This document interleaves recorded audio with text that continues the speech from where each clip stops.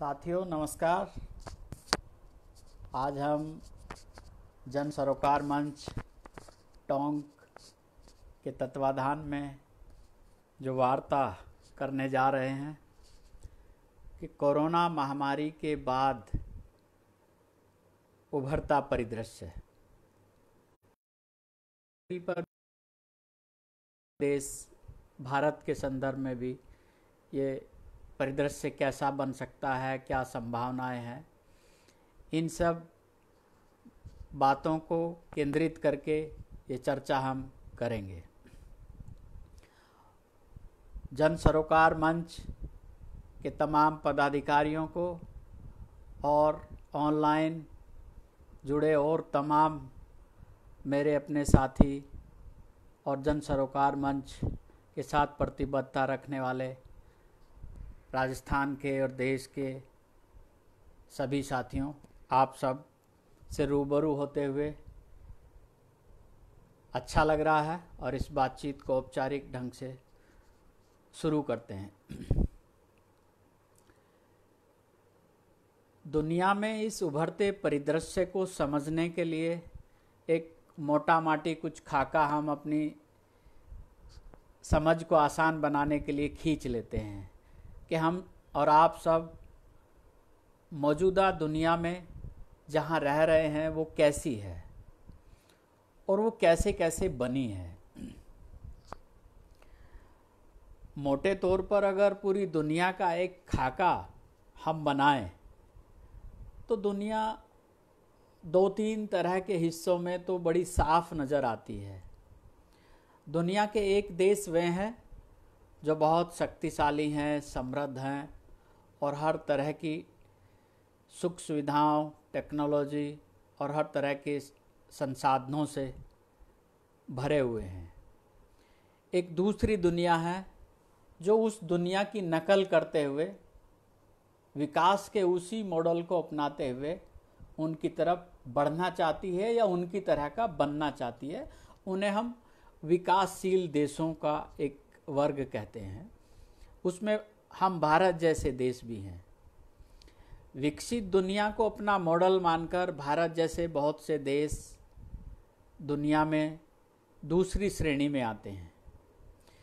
एक तीसरी दुनिया है जिसे थर्ड वर्ल्ड कहते हैं, जो एक गरीब विश्व है, गरीब दुनिया है, जो अपने हालातों से जूझ रहा है, अपने अस्तित्व की लड़ाई लड़ रहा है और इस कोरोना महामारी के दौरान भी उसकी सुध बुध लेने वाला कोई नहीं है और वह उसी हालात में अपने अस्तित्व को बचाने की जद्दोजहद के साथ इस दुनिया में एक्सप्लॉइट हो रहा तो ये जो तीन क्लास हम समझने की कोशिश कर रहे हैं, बनाने की कोशिश कर रहे हैं इससे पूरी दुनिया का एक उभरता परिदृश्य समझने में हम सबको आसानी होगी। विकासशील देश हैं, विकसित देश हैं और तीसरी दुनिया के गरीब मुल्क हैं। अब ये आप और हम सब समझते हैं कि विकसित देशों ने एक कैसी दुनिया की रचना की है। पिछली दो सदियों में अगर देखा जाए 19वीं सदी और 20वीं सदी। और 21वीं सदी के हम लोग प्रवेश पर हैं। दो दशक उसके पूरे हो रहे हैं और उसमें हम एक महामारी का सामना कर रहे हैं। तो विकास के इस मॉडल को अगर देखा जाए, जो 19वीं और 21वीं सदी तक बनता बिगड़ता दिखाई दे रहा है तो ये जिन सांचों ढांचों के साथ घड़ा गया, उन्हें अगर मोटा माटी एक फ्रेम में करके देखते हैं, हम सोशल साइंस के लोग समझने की सुविधा से इन अवधारणाओं को बनाते हैं, वो समझने में एक आसान करती हैं हमारे काम को।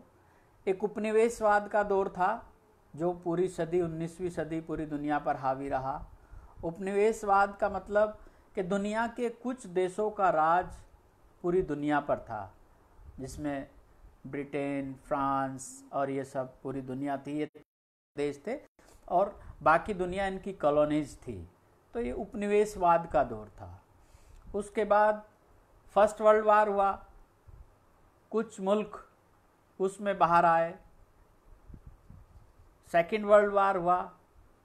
कुछ मुल्क उन स्थितियों, परिस्थितियों से उभर कर लड़ झगड़ कर पूरी दुनिया में उस तरह से एक नई दुनिया बनी।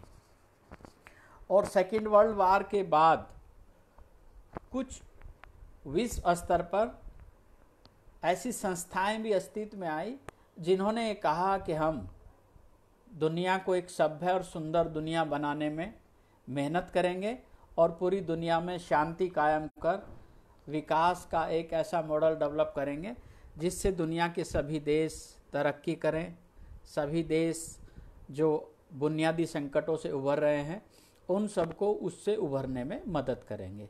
इस तरह के संगठनों की एक पूरी लंबी सूची है, जिसमें आप विश्व बैंक कह सकते हैं, विश्व स्वास्थ्य संगठन कह सकते हैं अंतर्राष्ट्रीय कोष कह और ऐसी एक पूरी एक लंबी लिस्ट है।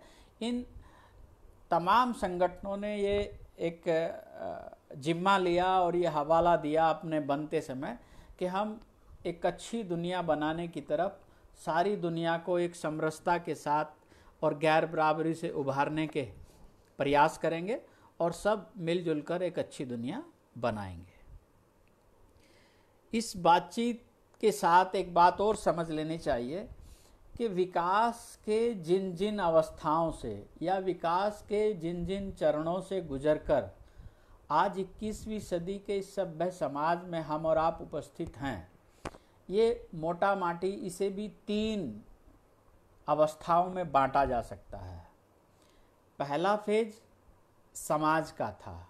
जब समाज बना, समाज अस्तित्व में आया और समाज ने अपने ढंग के तौर तरीके अपनाए, अपनी एक संस्कृति खड़ी की, अपने नियम कायदे बनाए, है ना? समाज में एक सहयोगात्मक व्यवस्था बनाई, है ना? कि सब एक दूसरे को ऐसे सपोर्ट करेंगे, इस तरह से हमारी ये सामाजिक संस्थाएँ होंगी और हम परिवार बनाया या धर्म भी बनाया और इस तरह की एक पूरी व्यवस्था कायम करके एक सभ्य समाज बनाने की दिशा में अग्रसर हुआ। और काफ़ी हद तक उसमें समाज की अवस्था में सम, समाज ने बड़े स्तर पर तरक्की की।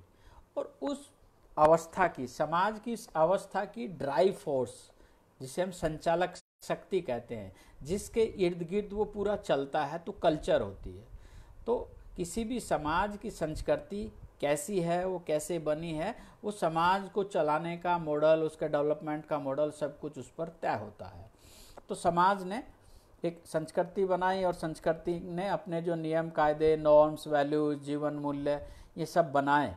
उसके अनुसार समाज ने एक बड़े स्तर पर दुनिया में तरक्की की। क्योंकि हम तो बिल्कुल एक जंगली अवस्था से निकल कर आए थे और फिर एक सभ्य समाज की दिशा में बढ़ने का सबने फैसला किया और सब उस तरफ़ बढ़े भी। उसके बाद समाज में जो कुछ ऐसी अराजकताएँ थी या समाज में जो कुछ ऐसी कमियाँ थी उनका हवाला देकर स्टेट, सरकार जिसे हम कहते हैं, स्टेट अस्तित्व में आया, राज्य जिसे कहते हैं, सरकारें। उन्होंने कहा कि समाज में बहुत गैर बराबरी है, समाज में एक वर्ग दूसरे वर्ग का शोषण करता है समाज में अराजकता है, नियम, कायदे, कानून फॉलो नहीं होते हैं। हम एक सरकार बनाते हैं, और सरकार एक रेगुलेटरी बॉडी की काम करेगा और जहाँ जैसी ज़रूरत होगी उसके अनुरूप नियम कायदे कानून ये सब बनेगा। और ये पूरी दुनिया में चला। क्योंकि ऐसा नहीं है कि दुनिया आज ही जुड़ी हुई है। दुनिया हमेशा से ही एक दूसरे के संपर्क में आती जाती रही है है ना? जैसे हम यूनान के विचारक पहले से ही पढ़ते हैं यूनान में क्या था कैसा था मिस्र में क्या था यहाँ क्या था चीन में क्या था भारत में क्या था? दुनिया पहले से ही अपने ढंग से आ, सीखती रही एक दूसरे से और एक दूसरे को फॉलो करती रही, एक दूसरे के डेवलपमेंट मॉडल को लेती रही। तो राज्य जब अस्तित्व में आया, राज्य ने समाज की जो बेसिक मूल इकाई थी, व्यक्ति, उसको समाज के व्यक्ति को मतदाता में कन्वर्ट करने के पूरे प्रयास किए और उसमें वो बहुत हद तक सफल भी रहा। क्योंकि उसे तो अपनी शक्ति बढ़ानी थी अपना बहुमत बढ़ाना था और अपने ढंग के इंस्टीट्यूशन राज्य ने, सरकारों ने डेवलप किए। कानून बनाए, पूरी दुनिया में, पूरे दुनिया के देशों की संविधान बने और सब संविधानों ने अपने अपने ढंग से अपने अपने समाजों को नियंत्रण करने के रूल रेगुलेशन चीज़ें तय करी, जिन्हें हम कानून कहते हैं। वो सब क्या है? कानून या नियम कोई ऐसी बहुत, ऐसी आइडियल चीज़ नहीं होती। वो एक सामाजिक राजनीतिक नियंत्रण का ताकत को अपने हाथ में लेने के टूल टेक्निक्स हैं, तौर तरीके हैं। और पूरी दुनिया ने ये ढांचा खड़ा किया तो स्टेट मज़बूत हुआ। अब ये तो एक डेवलपमेंट का फ़ेज़ है है ना? चीज़ें आगे बढ़ती हैं।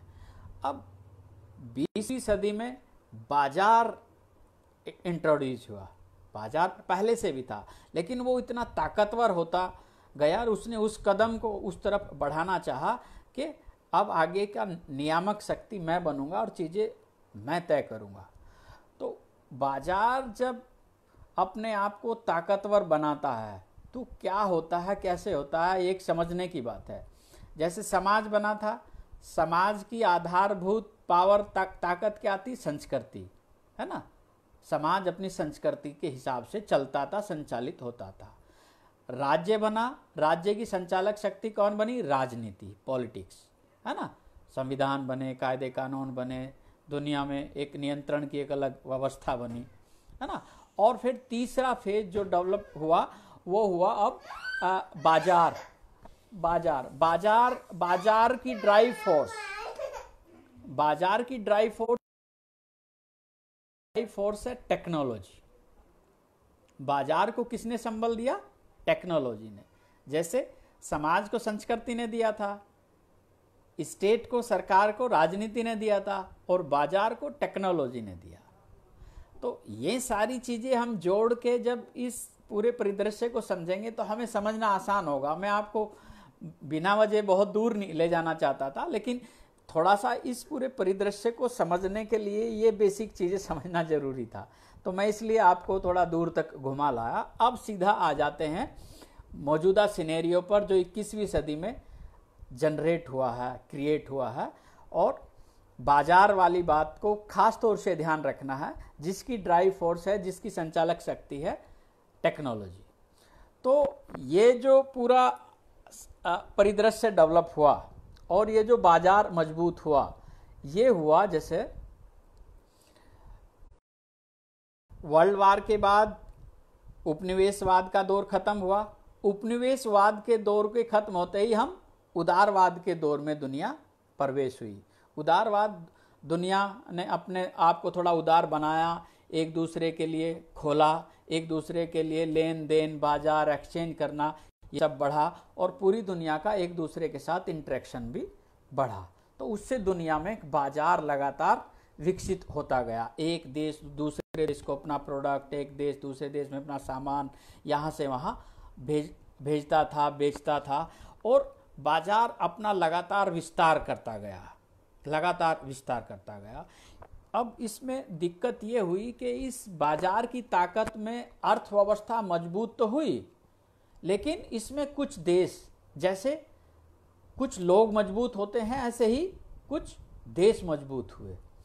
इन देश, जो देश मज़बूत हुए, उन्हें बताने की आपको ज़रूरत नहीं कौन मज़बूत हुए। सबसे ज़्यादा इस पूरे दौर में अमेरिका मज़बूत हुआ, चाइना मज़बूत हुआ, क्योंकि उसने उस बाज़ार के पूरे अप्रोच को, बाज़ार के दृष्टिकोण को बहुत जल्दी अपना लिया। तो एक अमेरिकन मॉडल है, एक चाइनीज़ मॉडल है। पूरे बाज़ार का, इस विकास का, इस डेवलपमेंट का, और विकासशील देश डेवलपमेंट की या बाज़ार की इसी होड़ का, इसी मॉडल का पीछा कर रहे हैं और ऐसा ही बनना चाहते हैं। भारत भी उस दौड़ में है। और भारत भी दुनिया की पांचवी बड़ी अर्थव्यवस्था में काउंट होता है। और एक तो उसका कारण यह है कि यहाँ की अपनी जनसंख्या इतनी है और यहाँ के रिसोर्स भी हैं, हम लोग मेहनती भी हैं और हमने दुनिया में अपना हर तरीके से मेहनत करके एक परचम भी में दर्ज होते हैं। और लगातार उस तरफ़ बढ़ रहे हैं। अब ये अलग बहस है कि विकास का ये मॉडल कैसा है अच्छा है, बुरा है, नहीं है, ये हमें अपनाना चाहिए, नहीं अपनाना चाहिए। इस बहस को फ़िलहाल स्थगित करते हुए मैं सीधा कोरोना संकट पर आता हूँ। अब कोरोना संकट ऐसे दौर में आया जब दुनिया एक बाजारवादी वर्चस्व की होड़ में एक दूसरे के साथ कंपीट कर रही है, एक दूसरे के साथ प्रतियोगिता कर रही है। और ये प्रतियोगिता दो देशों के बीच तो सीधे तौर पर दिखाई देती है, अमेरिका और चीन, क्योंकि वो दुनिया की बाज़ार के रूप में महाशक्ति हैं। क्योंकि जो और बाकी देश बाज़ार के तौर पर मज़बूत हैं, वो इसलिए महाशक्ति के रूप में हम लोगों और आप लोगों को अपील नहीं करते कि उनका आकार इतना बड़ा नहीं है। वो दुनिया में ये दो इतने बड़े देश हैं कि इन्होंने अपने आप की उपस्थिति बाज़ार को लेकर एक बड़े शानदार तरीके से दर्ज कराई है। तो इस ताकत को जब हम देखते हैं और इन सारी चीज़ों को, इस महामारी को हम देखते हैं, जिस तरह की इंटरनेशनल मीडिया में और इस पूरे सिनेरियो में एक कयास लगाए जा रहे हैं। महामारी को लेकर कई तरह की कल्पनाएँ हैं। एक तो ये है कि ये चाइना में ये वायरस बना और चाइना से किसी तरह से लीक हुआ और ये पूरी दुनिया में फैला। कुछ लोग, जो चाइनीज़ लोग हैं, वो अपनी डिप्लोमेसी के तहत ये आरोप भी लगाते हैं, नहीं, ये हमें, हमारी अर्थव्यवस्था को डंप करने के लिए अमेरिकन एक चाल है। अमेरिका ने हमारे यहाँ, अमेरिकी सेना अभ्यास के लिए आए, उन्होंने उन दिन हमारे यहाँ इसको छोड़ा और इससे हम लोग प्रभावित हुए या दुनिया प्रभावित हुई। और तीसरी एक जो थीसिस इस महामारी को लेकर है, वो ये है कि नहीं, ये जहाँ भी पैदा हुआ, ये पर्यावरण के कारण पैदा हुआ। तो इन सारी चीज़ों को भी अगर हटा दें तो इनमें एक कॉमन बात है। वो कॉमन बात यह है कि चाहे कोई सी बात भी मान ली जाए, लेकिन ये बात सच है कि ये मानव निर्मित है। ये इसके पीछे ये ये जो डिसास्टर है, ये है, या ह्यूमन मेड है है ना? इसे आदमी ने बनाया है। या इसके पीछे समाज है। चाहे वो एनवायरमेंट के कारण आया है और चाहे वो चीन की चाल है और या है वो किसी की चूक है। बसरते इसने पूरी दुनिया को प्रभावित किया और पूरी दुनिया में कोरोना महामारी के तौर पर पूरी तरह से अब इसमें इस पूरी महामारी के फैलने से कुछ चीज़ें संयोगवश रही। जैसे भारत के संदर्भ में मैं इसे एक बड़ा संयोग कहता हूँ। बड़ा संयोग इसलिए कहता हूँ कि चाहे तो इसे हम लोगों के एनवायरनमेंट के कारण कहो या हमारे खान पान के कारण कहो या हमारी जीवन शैली के कारण कहो या हमारे लाइफ स्टाइल और हमारी इम्यूनिटी के कारण कहो कि ये बाकी जिस तरह का भयावह रूप इसने यूरोप, अमेरिका और उन डेवलप कंट्रीज़ में दिखाया, उस तरह की महामारी या उस तरह के संकट भारत में वो नहीं दिखा पाया। और हम एक संभलने की स्थिति में लगातार पिछले छः महीने से बने हुए हैं। इसमें कोई शक नहीं है। इसका श्रेय हमें कुदरत को, नेचर को या किसी को भी देना चाहिए, चाहे इसकी जो भी वजह हो। इसमें सबसे ज़्यादा अमेरिका हिला और सबसे ज़्यादा पोल भी उसी की खुली, क्योंकि वो अपने आप को एक दुनिया की सबसे बड़ी ताकत हस्ती मानता है। अपने आप को टेक्नोलॉजी में, अपने आप को मेडिसिन में, अपने आप को तमाम चीज़ों में, किसी भी चीज़ पर नियंत्रण पाने में एक बहुत अहम कंट्री के तौर पर उसे दुनिया के अंदर देखा जा सकता है। दूसरा, चाइना। चाइना में भी कोई उसका कोई कम इफ़ेक्ट नहीं रहा। उसे भी लॉकडाउन करना पड़ा और दुनिया में सबसे पहले लॉकडाउन वहीं रहा। जो चौबीसों घंटे अपना प्रोडक्शन ना रोकता हो, जो चौबीसों घंटे काम करने से ना चूकता हो, और अपने उत्पादन और अपने प्रोडक्शन अपने माल के तौर पर मार्केट में पूरी दुनिया में अपनी पताका फैलाने वाला चीन अगर महीनों लॉकडाउन कर सकता है तो ये कोरोना संकट का या कोरोना महामारी का डर तो है। इसमें कोई शक नहीं है। चाहे उसने उस पर नियंत्रण पाने का कोई भी मॉडल अपनाया हो इस बात को भी इसमें देखने की बात है। इस बात को देखना इसलिए ज़रूरी है क्योंकि जिस बहस को लेकर आज हम और आप रूबरू हैं, वो यह है कि कोरोना महामारी के बाद की दुनिया कैसी होगी? कोरोना महामारी के बाद की दुनिया कैसी बनेगी? ये कोरोना महामारी के बाद जो संकट निपटेगा, उसके बाद का वर्ल्ड कैसा होगा? इसमें बहुत, क्योंकि भविष्य की बात है इसे अगर बहुत स्पष्ट रूप से ना भी कहा जाए, ना भी समझा जाए, क्योंकि भविष्य के गर्व की बात है कि ये दुनिया कैसी बनेगी, कौन बचेगा, कौन बिगड़ेगा, किसकी अर्थव्यवस्था खत्म होगी, कौन नई ताकत के रूप में उभरेगा, ये बहुत भविष्य पर निर्भर करेगा। लेकिन कुछ चीज़ें तय हैं, जिन्हें बहुत विश्वास के साथ कहा जा सकता है सकता है कि भावी दुनिया ऐसी बनने जा रही है क्योंकि उसमें से बहुत कुछ हिस्सा आपको और हमको देखने को स्पष्ट नज़र आ रहा है। इस पूरी महामारी का सामना करने के लिए गौर से देखिए आप कि दुनिया ने जो तौर तरीके अपनाए और दुनिया ने जो एक पूरा मॉडल क्रिएट किया, वही भावी परिदृश्य बनाने के पीछे मुख्य रूप से एक नियामक मॉडल होगा, एक मुख्य शक्ति होगी। यह मैं इसलिए कह रहा हूँ कि भविष्य की जो दुनिया बनेगी, वो वैसी ही बनेगी जैसा हम इस संघर्ष से पार पाने के लिए एक मॉडल क्रिएट करेंगे। और वो मॉडल किन किन रूपों में आपके हमारे सामने आ रहा है, उसे आप देख सकते हैं। एक तो चीन के अंदर, इस महामारी पर नियंत्रण पाने के लिए क्या मॉडल बनाया गया किस तरह के तौर तरीके वहाँ रखे गए और किस तरह से काबू पाने का एक ढांचा खड़ा किया गया। दूसरा मॉडल अमेरिका के पास है, क्योंकि दुनिया के पास ये दो ही ऐसे नकल करने की चीज़ें हैं जिन्हें पूरी दुनिया मॉडल मानती है इनकी तरफ़ देखती है, चाहे अच्छा है या बुरा है। और तीसरा जो छुटमुट एक दुनिया के अन्य देशों में इसमें भारत भी शामिल है, विकासशील देश हैं, उनमें जो कुछ घट रहा है। और तीसरा जो खेमा है, जिसकी मैं शुरू में ही बात की थी, गरीब दुनिया, उसका इस महामारी के समय में कोई नाम लेवा तक नहीं है।